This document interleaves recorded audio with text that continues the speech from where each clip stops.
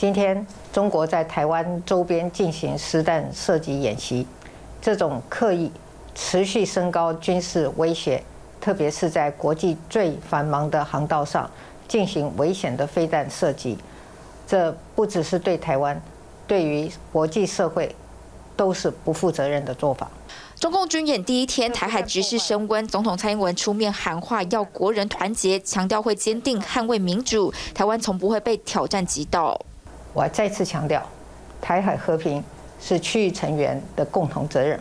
我们致力维持两岸现状，对建设性的对话。也一向保持开放的态度。中国大陆对台文攻武赫，美国众议院议长佩洛西在东京的记者会上声明：“我们代表团的目标并非改变地区或台湾现状，但美方不允许中国大陆孤立台湾，台湾不挑衅，美方态度也很坚定，但中国大陆似乎听不进去。如果北京对于呃两岸的互动，对于台湾跟国际社会的互动有想法，其实两双方应该进行所谓建设性的对话沟通。”彼此之间化解这个在呃相端的旗舰，蔡总希望是说国际社会可以看到，呃，在这个过程当中，台湾是理性自自治的一方，而中国是一个相对而言呃霸道然后呃威胁的一方，大家可以看到。呃，这个台湾站得住脚的一面。中国大陆军演挑衅，总统蔡英文呢是一再的重申可以开启建设性的对话，但中国大陆不予理会。接下来三天军演之后，台湾与中国大陆双边要再开启和平理性的对话，难度是不是越来越高？过去也曾有美国国会议长、议员或是部长级官员访台，但单单这次中共反应这么大，除了中美关系紧绷，还有中共内部压力。专家分析，在军演后，中共二十大前这座。对话桥梁恐怕都难以搭建。呃，佩洛西访台的事件只是一个最后一步，把这个紧张局势往上推升的一个一个点而已。其实要仔细回顾，应该是这几年其两岸的形势，就是这个大的脉络，其实就是一个比较低档，啊，比较陷入僵局。那在政治上基本上是没有，已经没有正式的官方的这种管道在沟通。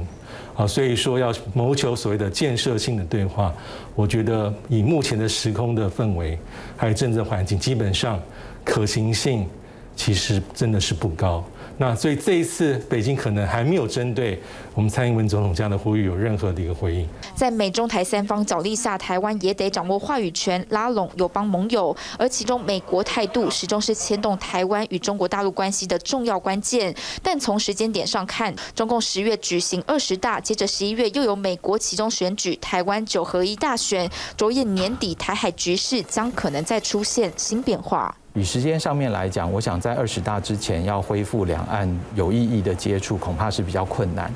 有没有可能在明年的上半年开始，呃，在各方都短期之内没有选举的情况之下，能够有一些对话的机会产生？后续透过民间、社会或学界之间的一些互动，然后来传递一些讯息，在两岸之间要稳定这个情势的前提之下。美国是不是还能够持续的扮演这样子一个非常有建设性的角色？我觉得是大家值得大家关注跟期待。尽管台湾展现理性态度，把球再丢回给习近平，但两岸互信基础已经越来越薄弱，加上暂停进口食品禁令没有撤销，短期内想要开启和平对话，恐怕没这么容易。TVB 新闻华正森刘军台北采访报道。